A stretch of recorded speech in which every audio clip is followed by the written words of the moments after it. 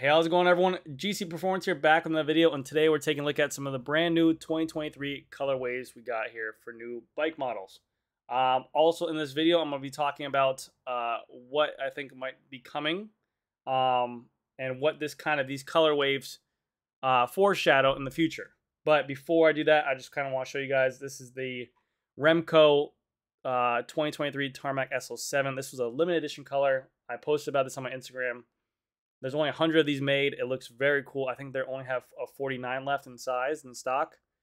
Uh, if you do buy this, this is just a pre-order, so it will ship out in November. But this is the exact same colorway that they he rode into on the to win the Vuelta on uh, the final stage. So it looks very. I like the red. The red color just classic. It looks like classic Specialized. I like the black in there, um, but it is a matte colorway. And what I find very interesting is that they included a zero degree or a zero uh, degree setback seat post. So this is a straight up and down. This is the same seat post that he was riding uh, in the Torre Volta. So I think that's pretty cool. They kind of matched that for his geometry, which I find is a very, very comfortable uh, seat post as well. If you guys have not done that for your tarmac, maybe talk with your local fitters, see if that's something for you. Um, but I feel like it gives you a little bit more power over the cranks. Anyways, let me do some digging. So someone reached out to me in my Instagram said, hey, I found these bikes on there.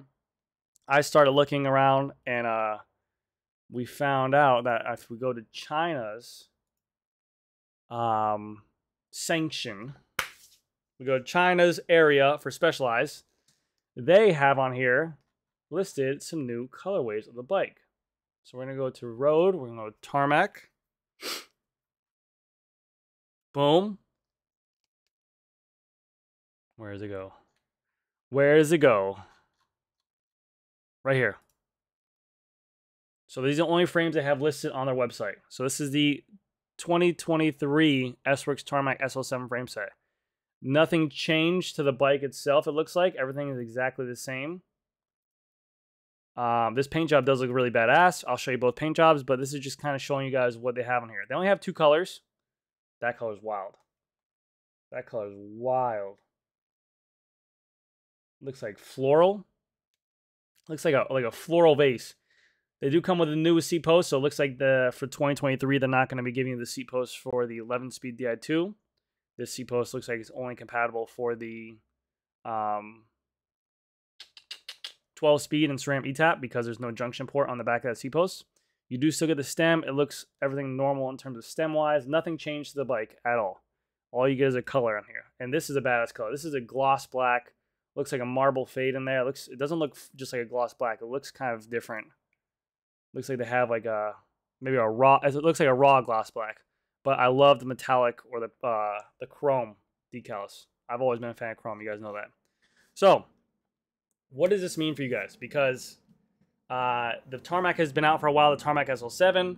It's been out for a little bit, as we all know. Specialized after a couple years, they like to maybe change up things, do different renditions of it, release new models, everything like that.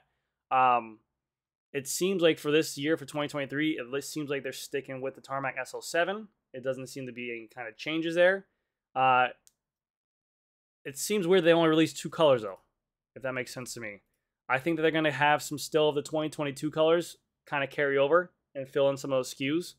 Um, but it, it only has these two colors. Usually, when they do a new bite or they, they release a new lineup, they'll have five to six or seven colors. But it seems they only have those two colors on there right now uh, which is weird. And then here's a 2022 color, which only have this one frame. So um, we'll see what have happens there. But as for right now, this is only confirmed on China's website. This is on specialized.com, so this is for sale already. Uh, I don't know when our Western side or the United States will be seeing new colors because these have not dropped yet on my side. I haven't seen them, even me being a dealer. But if I was to take a guess, I would assume that these colors would come over to there. Who knows when? We'll figure that out. Also, doing some digging. I found in the Allez, they had some new colors. No, not here. Okay, this one was changed. Okay, we got to change region one more time. And the Pacific Australia, it looks like they had two colors of the turbo. No, I don't want turbo. Hold on, one second. Okay, there you go. So in Australia, we went there, went to bikes. I had to reload it. Uh, Allez Sprint, they have new colors here too, which look pretty wild as well. So you have this kind of color, gloss ink technique, lagoon blue, purple orchid, orange tint, midnight shadow. Holy shit, that's a long color. Uh, they have this color, which is classic satin silver dust, gloss transparent decals. That's a badass color. I maybe like to see that color black, but that's a really cool color. Very nude, very plain. Maybe you want to stay under the radar. You don't want people to know what kind of bike you have. That's a cool looking bike. And then they have this one, which is following the schemes of the Tarmac SL7 I just showed you. This is the satin metallic dark navy, rusted red, granite gloss silver dust. That's crazy. That's a cool looking bike.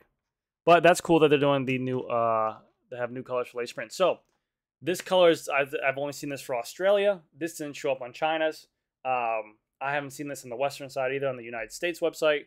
But if it has to do, if, if this is going the same way that 2022 was, the colors released first here and then they trickled over to America as well. So we'll see. And I don't think that they, back in the day, they used to do a European color for over there. Australian got a different color here.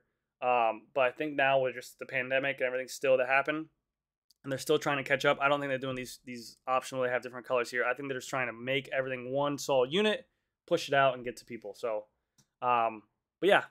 So like I said, for the tarmacs, it looks to seem like we're gonna have the SL7 uh, this whole year again.